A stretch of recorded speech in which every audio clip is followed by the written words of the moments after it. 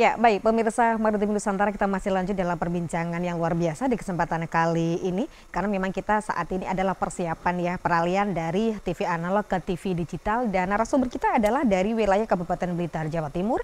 Beliau uh, Kepala Dinas Kominfo Kabupaten Blitar Jawa Timur Bapak Eko Susanto STMSI. Siapkah Kabupaten Blitar bermigrasi ke siaran uh, digital? Tadi Pak Eko menjawabnya siap tidak siap memang harus siap apalagi memang sudah ada edaran dari uh, Kominfo pusat bahwa uh, apa namanya ada pendataan nanti ada istilahnya adalah pembagian juga STB gratis kepada masyarakat. Tentunya tidak hanya kepada masyarakat Blitar, tapi karena kali ini adalah narasumber kita dari wilayah Kabupaten Blitar, tadi Pak Eko juga sudah menyampaikan ada beberapa persyaratan loh ya kan untuk masyarakat yang nantinya berhak menerima STB bantuan dari pemerintah. Kita akan lanjutkan lagi karena kita pun juga tentunya penasaran khususnya untuk masyarakat Blitar ya kan semua maunya dapat Pak Eko. ya kan Pak? Ya, betul. betul. Semua ya. berharap dapat semua, tidak ada apa namanya pembatasan-pembatasan ya. apa namanya kelas struktur tadi itu ya. ya. Tapi bagaimana ya. Pak mengenai persyaratan? Kan memang tidak bisa tuh kalau semua dapat. Iya, memang persyaratan yang ditentukan sudah jelas bahwa untuk bantuan apa namanya hibah set uh, set top box ini untuk masyarakat miskin uh, sehingga ya. diharapkan yang yang bukan kategori miskin uh, untuk penyediaan uh, secara apa namanya secara pribadi sebenarnya ya. tidak terlalu mahal juga mbak hanya sekitar 300 ribu sampai 400 bergantung yeah. memang mereknya yeah. mereknya apalagi sekarang saya pikir uh, saudara-saudara kita atau masyarakat itu sudah rata-rata sudah menggunakan TV uh, eh, LED kemudian yeah. TV smart smart uh, eh, TV dan seterusnya saya pikir sudah sudah dengan apa namanya secara alamiah mereka sudah bergeser karena memang uh, teknologi begitu cepat sudah saya pikir hampir setiap rumah sekarang sudah menggunakan smart TV juga hanya mungkin yang tadi memang di masyarakat level yang standar yeah. di ya. bawah standar kita itu ya memang kita harus tugas pemerintah harus yeah. apa namanya hadir untuk membantu kemudian mengedukasi dan seterusnya begitu mbak. Baik. Ya. Artinya memang saat ini verifikasi mengenai data sudah dilakukan ya Pak ya untuk Kabupaten Blitar? Iya, jadi tahapan setelah dapat surat dari Mendagri, kami langsung merespon dengan cepat. Kemudian karena itu masih bentuknya data, sehingga kami langsung membuat sistem aplikasi agar mudah dimonitoring oleh masyarakat dalam basis online tadi ini. Uh, kita serahkan ke desa, kemudian uh, mereka akan melihat uh, data itu atau sudah meninggal atau ada duplikasi atau seperti apa. Karena data kita ini data dari pusat Mbak. Ya. Langsung dari seluruh seluruh kabupaten seluruh Indonesia ini datanya itu dari pusat karena memang yang punya data kemiskinan uh, apa yang punya indikator kan dari pusat. Kami hanya menerima saja. Hanya kami harus verifikasi berkaitan dengan apakah masih hidup, kemudian dan seterusnya dan seterusnya Kemudian ada kriteria yang memang harus dicermati juga berkaitan dengan sinyal uh, siaran yang ada di desa itu. Kebetulan kami juga ada panduan untuk mengetahui sinyal uh, wilayah, apakah di situ ada uh, apa namanya sinyal untuk uh, siaran televisi digital tadi atau tidak itu. Tapi rata-rata hampir semuanya sudah sudah terpenuhi uh, untuk persoalan uh, daerah yang tidak teraliri oleh sinyal digital tadi itu. Iya, baik, Pak Eko.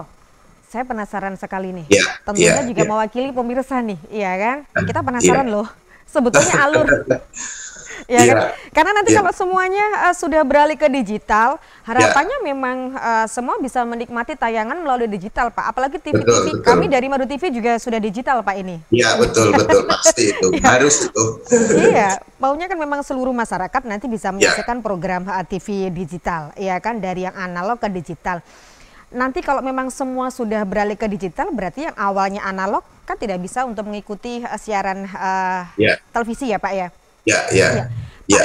Kalau secara teknis, oke okay lah tadi Panjenengan menyebutkan data itu dari pusat loh. Iya, iya iya. kan? Tetapi kan Iya. memang untuk verifikasi alurnya gimana Pak? Dari desa yang mendata Iya. masyarakat masing-masing di wilayah desanya. Iya. Kemudian di cross check begitu ya Pak ya? Betul, iya. Ya, jadi prosesnya Mbak, eh, setelah kita dapat data tadi Ya. kita buatkan sistem Ya. eh, aplikasi yang berbasis online, kemudian di situ sudah tinggal centang-centang saja eh, kepala desa. Hmm, Jadi kita buatkan sistem di, di kita setelah data itu tidak mentahan saja kita untuk mempermudah kerja karena waktu itu hanya waktu dalam waktu satu minggu kami harus membal, eh, mengembalikan data itu hasil verifikasinya itu sehingga kami langsung buatkan sistem tadi ya. Membuatkan sistem eh, dengan yang mudah ya. Misalnya persyaratan tadi ada empat atau tujuh eh, kriteria. Nanti tinggal centang centang centang sudah diverifikasi tinggal muncul saja nanti di di sistem itu. Ya. sehingga dari data total yang masuk itu sejumlah total yang masuk coba data itu masuk. Total yang masuk dapat dari pusat itu 250.000 eh, 793 kemudian atau jumlah kakaknya 84.000 Ya. kecamatannya di eh, 22 Eh, ini data yang ada yang kita masuk jadi total yang kita verifikasi coba dihitung dulu. total yang sudah kita verifikasi seluruhnya itu eh, 250 ribu atau 84.912 KK dari hasil verifikasi yang dibantu di tingkat desa, kemudian nanti ada juga berita acara, Mbak. Berita Gimana, acara acara yang harus dilampirkan, surat pernyataan menerima dan seterusnya itu ada sesuai dengan ketentuan dari Mendagri dan Kementerian Kominfo. Kebetulan juga harus di SK-kan eh, atau perbuk eh, oleh Bupati daftar nama-nama eh, hasil verifikasi verbal data yang menjadi calon penerima STP. Inggih, Ya. itu Pak. Mungkin yang bisa kami sampaikan seperti Baik. itu. Harapannya adalah eh, nanti untuk bantuan dari pemerintah berupa Ya. STP atau set top box agar Ya. masyarakat bisa menyaksikan siaran digital atau siaran TV digital itu tepat sasaran ya Pak ya. Ya, betul, betul, betul. Benar-benar yang menerima adalah yang berhak. Iya, iya, betul. Berarti ada semacam recheck lagi ya Pak ya, biar Iya. benar-benar biar Iya. tidak salah sasaran. Mohon Iya. maaf Pak, seperti bantuan yang lain tuh yang masih ada salah sasaran. Ya, ya. Ya, ini untuk eh, pendataan atau verifikasi untuk wilayah Kabupaten Blitar sudah final ya Pak ya? Sudah final di tanggal berapa ya? SK-nya sudah turun juga, Mbak. Jadi SK mungkin hampir sebulan yang lalu data itu Iya. sudah kita kirimkan, dokumen itu sudah kami kirimkan ke Kementerian Kominfo. Jadi persoal bukan sebenarnya eh, kami juga mengusulkan yang lain, tetapi kan porsi porsi apa namanya eh, kuota yang ada di pusat hanya 84 ribu sekian. Ya. Jadi kami pun hanya membatasi pada eh, kuota yang sudah ada. Kami memang sangat berharap bahwa data yang sudah kita verifikasi ini memang sudah tepat sasaran dan memang ada verifikasi dari desa, verifikasi dari desa dan eh, Pak Camat eh, seperti yang ada di tera, tertera di dashboard seperti itu, memang nanti akan memunculkan persoalan di tempat kita sebenarnya eh, wajar lah ketika nanti eh, ada yang meninggal. Ada Ya. yang meninggal kemudian nanti apakah bisa dialihkan? Tentu ini kan belum ada regulasi yang yang jelas itu. Kemudian eh, secara teknis memang nanti akan muncul pastilah akan muncul di wilayah berkaitan dengan teknis eh, pembagian kemudian eh, teknis lainnya tapi secara data kami sudah tidak bisa mengelak karena memang itu data given atau top down dari dari pusat seperti itu, Mbak. Ya, baik. Ah, Pak Eko, kita kan memang membuka eh, open phone juga WA. Ya, ya. untuk apa namanya diskusi di kesempatan pagi ya. hari ini. Saya baca beberapa WA yang juga ingin bergabung karena tentunya adalah ketika namanya televisi ini semua masyarakat ya. sekarang butuh televisi, Pak. Ya betul betul. Iya kan, baik. Uh, Pak Eko, jadi pagi ya. hari ini selamat pagi dari Pak Adi yang ada di uh, Kediri. Ya, mau bertanya kepada panjenengan ini Pak, saya bacakan ya Pak ya. Ya, oke. Okay. Selamat pagi Bapak narasumber. Ah, untuk lingkungan Pepkam sendiri, sebenarnya sudah berapa persen yang tahu mengenai siaran digital? Dan apakah ya. di beberapa kantor pemerintahan sendiri sudah beralih televisinya dalam penerimaan digital, Pak, sebelum nanti masyarakat yang beralih? Ya, baik. Terima kasih uh, atas pertanyaan dari uh, saudara kita di Kediri. Ya, ya uh, kami memang terus mengadakan sosialisasi, tidak pernah lepas untuk ya. mengadakan sosialisasi, apakah lewat media sosial, media elektronik, apakah TV, radio, dan seterusnya. Jadi kami masif dan kita juga sudah mengadakan fitcon dan seluruh desa. Kita berikan flyer untuk di-share di masyarakat di RT RW.